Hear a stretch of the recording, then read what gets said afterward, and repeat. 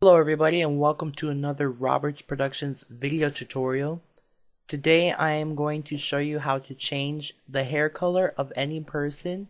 In this case we have a, a girl with a lot of hair and we're going to change it to maybe a little bit redder color. Uh, the way I'm going to show you is a lot easier than just having to select everything with your polygonal lasso tool that's this tool. Um because then you'd have to get into these very little tight areas and make sure you select every little piece of hair. And that could take days hours weeks months years on just one photo. It's actually almost impossible. I mean it can be done but all these little tight areas right here i don't even want to mess with it. Okay so what we're going to use today is we're going to do a method with the brush tool.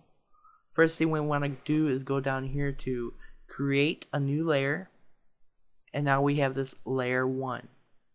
Next, we're going to go over here to the brush tool, select it, and make sure that your foreground color is set to white. Click OK.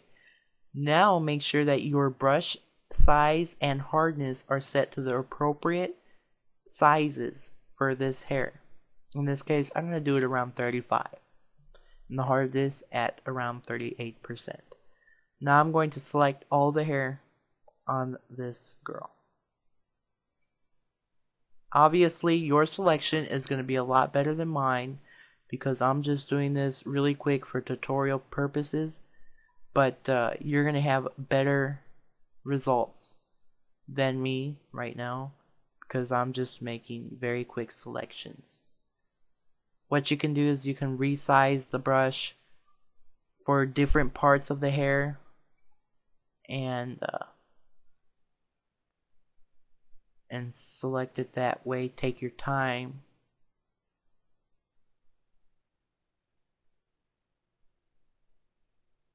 Okay, now that we've got most of the hair selected, we can go back to the arrow tool we can go here to layer 1 set the blending mode to soft light.